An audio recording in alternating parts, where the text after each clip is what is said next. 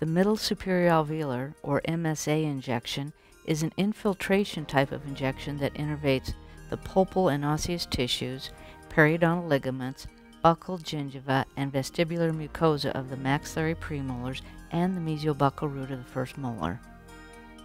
Palpate the zygomatic alveolar crest to determine whether or not you might hit bone prematurely. Determine the apex of the maxillary second premolar. Place topical at the mucobuccal fold above the maxillary second premolar for 1 to 2 minutes. While the topical is in place, use both hands to obtain and ready your syringe, making certain that the bevel is toward the bone and large window toward the operator. Follow all steps and procedures presented in the video clip entitled Basic Steps in the Administration of Local Anesthesia. A 25, 27, or 30 gauge short needle works well for this injection. To gain access to the site of penetration, gently retract the tissue, pulling the tissues taut while lifting the tissue away from the maxilla. The penetration site is at the height of the mucobuccal fold over the maxillary second premolar. If it is difficult to keep the syringe parallel to the long axis, penetration can be made between the two premolars, angling distally towards the apex of the second premolar. The pathway of the needle follows as parallel as possible with the long axis of the tooth above the apex of the second premolar. The depth of insertion is approximately 5 to 8 millimeters, depending on the apex of the tooth. Aspirate at the deposition site.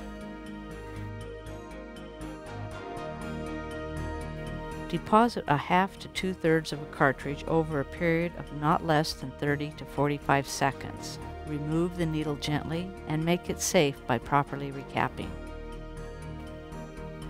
Potential complications from this injection are minimal. There is the possibility of discomfort if periosteum is contacted. Be sure to stay parallel with the long axis of the tooth to avoid such touching of the periosteum. Ballooning of tissue may occur in this region. Also, it is possible to see some hemorrhage at the site of penetration. Troubleshooting the MSA injection. When administering the MSA injection, the zygomatic bone is frequently located in that area and obviously cannot be moved. Advancing the needle any deeper is impossible in that case. Because the needle is inserted at the height of the mucobuccal fold, is in close proximity to the root apex, and the maxillary bone is rather porous, anesthesia will be possible to achieve in that area. Therefore, continue with the injection. Deposit the anesthetic slowly and consider depositing slightly more anesthetic than usual, 3 fourths to a full cartridge, since the bone is thicker in that region. Be aware that ballooning of tissue may appear in this situation and is normal to observe. Be reminded that the MSA nerve is absent in a large percentage of the population.